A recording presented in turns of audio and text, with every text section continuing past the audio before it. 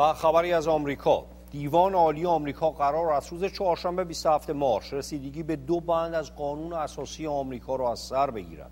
آنها در این روز همچنین از طرفین دعوا درباره معنی ازدواج و اینکه باید این امر فقط محدود به وصلت میان یک زن و یک مرد باشد و همچنین نقش دولت در تعریف آن پرسش کردند. و این در حالی است که این تصمیم می‌تواند تاثیر زیادی بر مسئله مجازانستن ازدواج همجنسگرایان در آمریکا داشته باشد. به گزارش خبرگزاری رویترز از روز سهشنبه هزاران تن از موافقان و مخالفان حق ازدواج همجنسگرایان در بیرون از ساختمان دیوان عالی ایالات متحده در واشنگتن دست به تظاهرات زده و در جریان این تظاهرات بحث‌های خیابانی نیز میان دو گروه جریان داشته است.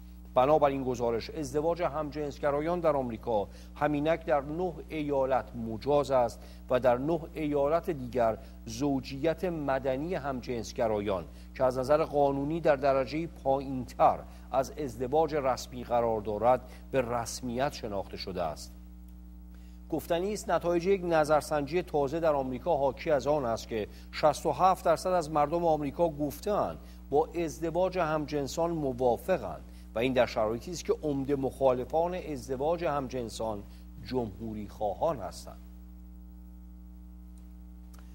و خبری از مصر. دادگاه تجدید نظر مصر روز چهارشنبه 27 مارچ با صدور حکمی فرمان عزل دادستان کل کشور توسط محمد مرسی رئیس جمهور یا لغو و دادستان سابق را در پشت خود ابقا نمود.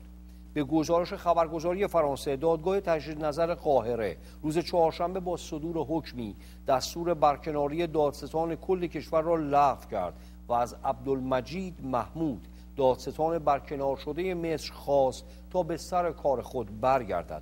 و این در حالی است که محمد مرسی در ماه نوامبر گذشته با صدور فرمانی و با استفاده از اختیارات ریاست جمهوری عبدالمجید محمد محمود را برکنار و طلعت عبدالله را به جای او منصوب کرده بود.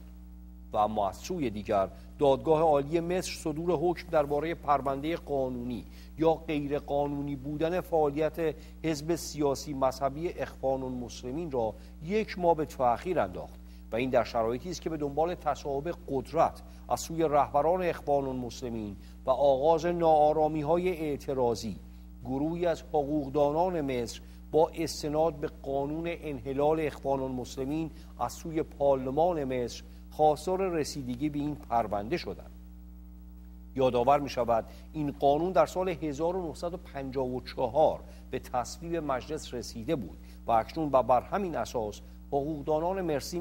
مصری می‌گویند فعالیت این حزب تا اطلاع ثانوی و لغو رسمی مسببه 1954 همچنان غیر قانونی است بینندگان عزیز در این بخش از برنامه شامگاهی اخبار توجه شما را به دیدن توصیه پزشکی امشب جلب می کنیم که توسط دکتر مهدی شیدایی به سم و نظرتان خواهد رسید. همین ما شنیدیم که ورزش خوب است و خیلی ما ورزش هم می‌کنیم. کار بسیار خوبی هستش. چند تا مورد در مورد ورزش کردن خدمتتون میگم. خیلی هستن تو ورزش کردن خودشون آسیب می‌زنن.